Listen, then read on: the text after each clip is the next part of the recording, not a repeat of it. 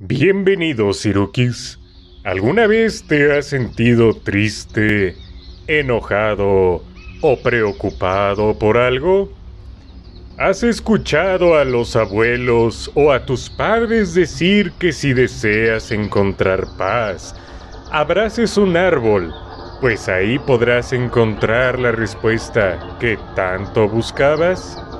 Quizás hoy entiendas la razón de por qué acercarnos a la naturaleza y sentirla con nuestro cuerpo puede llegar a ser algo que brinde un gran alivio y que las culturas mesoamericanas sabían muy bien.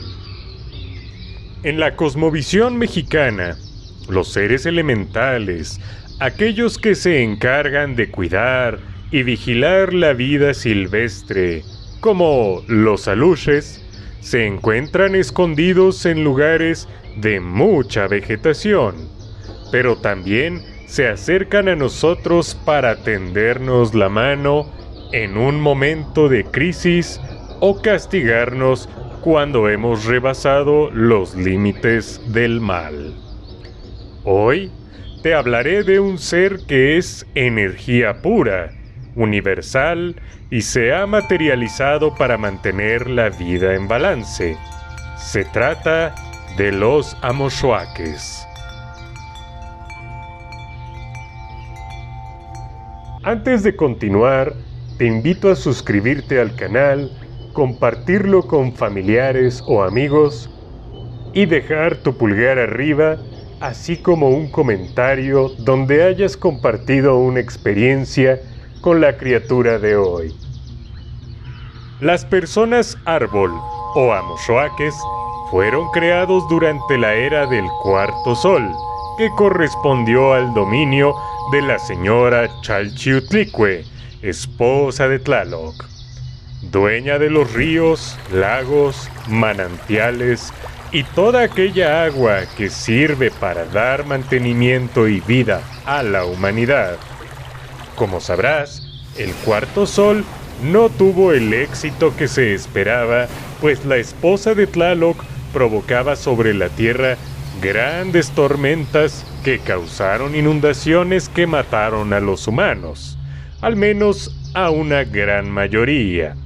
Los supervivientes, desesperanzados, rogaron ayuda a sus creadores y entonces fueron convertidos en peces para que pudieran salvarse.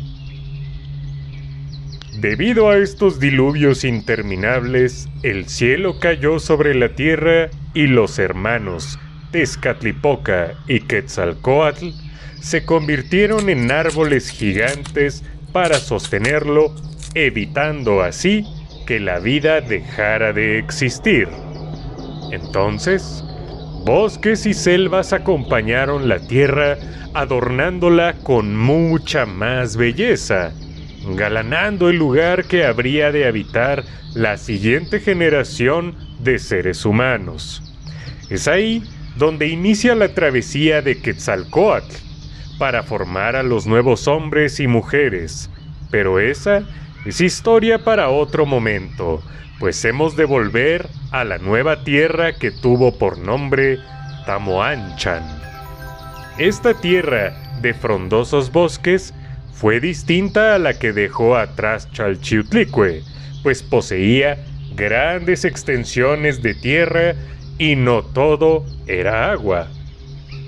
Ahí arribaron los primeros a Moshoaque.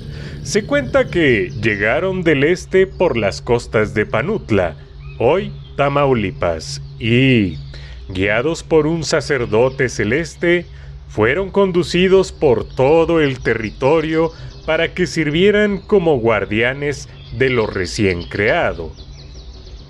Ellos habrían de dar fuerza a la tierra para que las aguas no causaran deslaves. Frenarían las tormentas con sus raíces y fuertes troncos y prevendrían la erosión con sus enormes copas llenas de hojas que refrescarían a las criaturas que sufrían por el inclemente sol. Durante su estadía, el mundo fue muy bueno con ellos, y sus protegidos, el resto de árboles y plantas que no podían andar, dieron frutos, se llenaron de flores, albergaron vida y proporcionaron refugio a aquellos que vivían desolados. Entonces llegó la humanidad del quinto sol y tan dignos guardias fueron convocados a volver a los cielos junto a sus creadores. Pero estos no aceptaron del todo, pues vivían contentos en lo que pensaron era de su propiedad, retando así a los señores Quetzalcoatl y Tezcatlipoca.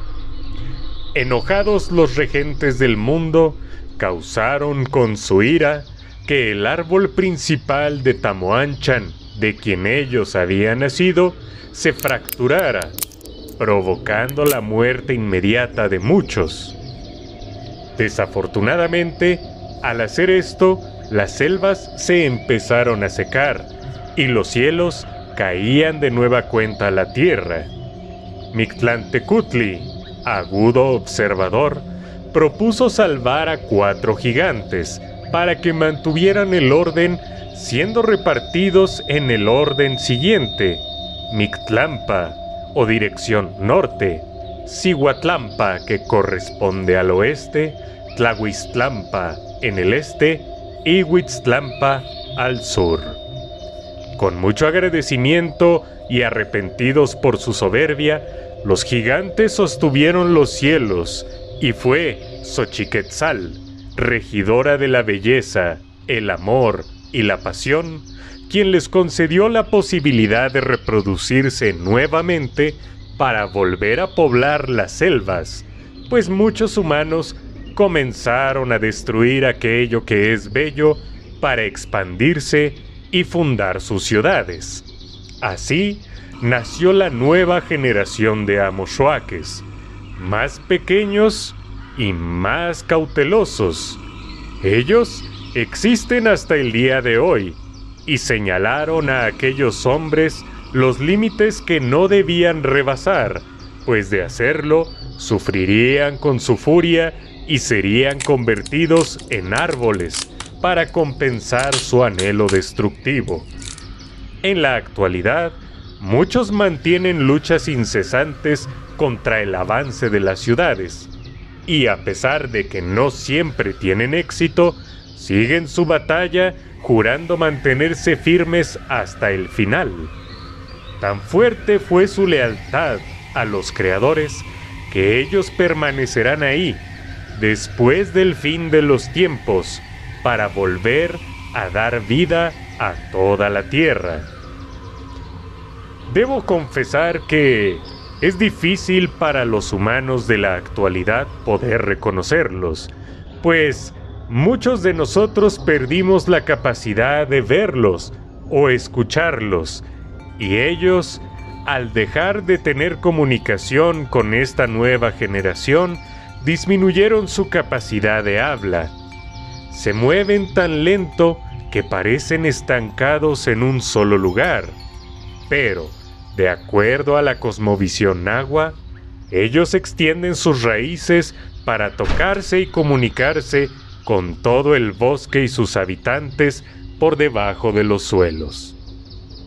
Así, cuando un desafortunado ser humano se atreve a ingresar en sus dominios y comienza a talar árboles de manera innecesaria, el amoshuaque ha de exponer sus raíces para atraparlo tomarlo por los pies y transformarlo en otro árbol que habrá de suplir al recién caído, retomando el balance del bosque nuevamente. ¿Has notado en alguna caminata por el bosque que hay troncos que parecieran respirar de pronto? Hojas que casi no se mueven a pesar del fuerte viento que sopla?